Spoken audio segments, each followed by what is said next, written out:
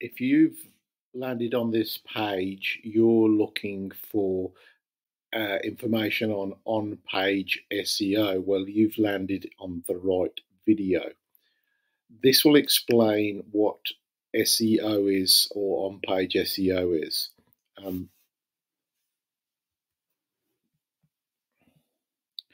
one of the main things that most websites haven't done is index their pages. Uh, uh, Google is just an index of the internet, and you also need to organize your page content. Um, you need to do research on the keywords and what keywords are, um, what, what the searches are on those keywords, whether they're increased, whether the trend is an upward trend or a downward trend, um, how competitive those keywords are a the, the, the foundations of a website is about the keywords and the search volumes and you revert you work in reverse. You find out what the search volumes are and find out what you, you as a customer are trying to attract uh, sorry as a business are trying to attract and find out what the customers are searching for and pull the two together so that you get the conversions. It's also important the intent of the keywords which um, is what they're looking for. Um, so that it will, if you do the risk, that's done right, you get basically means more traffic, more customers, and more money. Whereas most sites are just set up um, and they're just pretty things that don't rank, don't don't engage the customers and talk in different language to the customers because they use um, technical language. A website needs indexing correctly. If you're over 35, you'll probably remember the index cards, the A to Z, and the old filing cabinets A to Z, or the filing cabinets which were um, basically indexed for what information they had in the filing cabinet. but most websites are not properly indexed. 93% don't have the right, they just have the page name and the company name, which isn't they're not indexed for keywords that people are searching for. So that's why they're not coming up.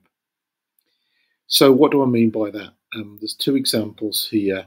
One is um, a plumbing company called A1 Plumbers, and you can see the, the name of the company and the name of the page. Contact us, plumber, plumbing professional, shower pressure, A1 Plumber.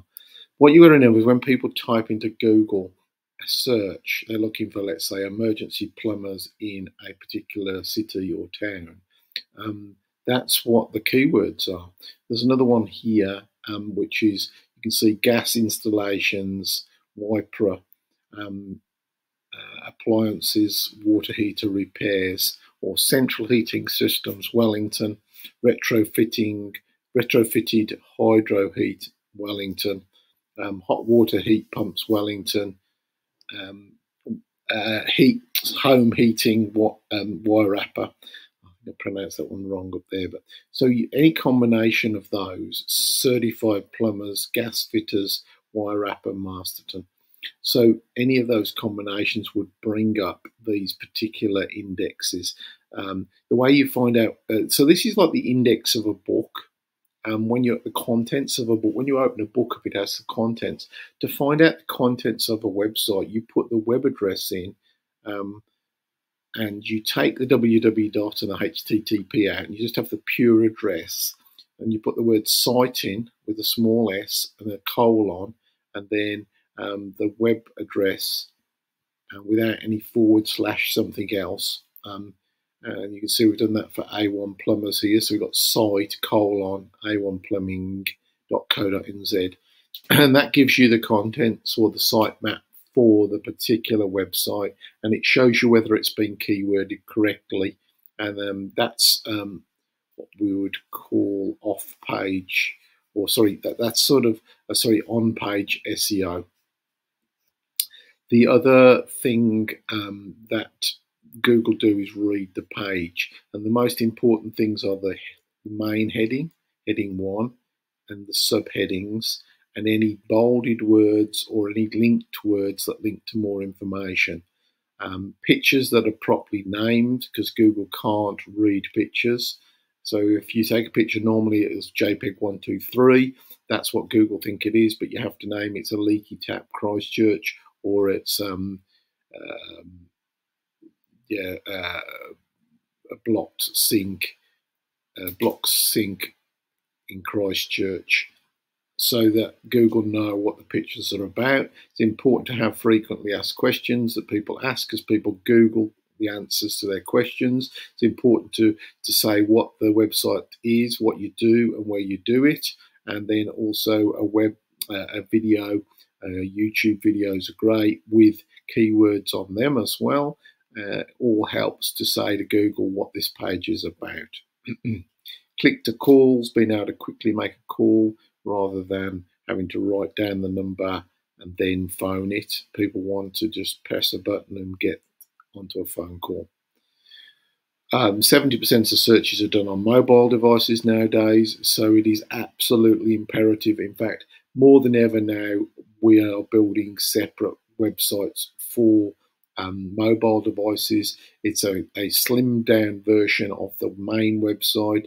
It contains the main information people want quick access to.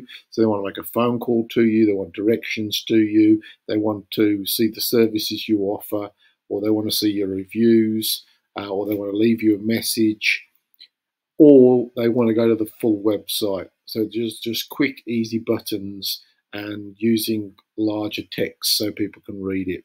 Um,